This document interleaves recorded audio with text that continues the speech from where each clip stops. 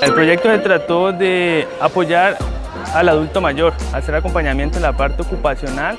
Lo realizaron estudiantes de la tecnología en gestión empresarial. Eh, realizaron bingos, eh, bailoterapia, motricidad fina, trabajar con témperas, eh, con pinturas, hacer los el arbolito de Navidad, las cosas de diciembre.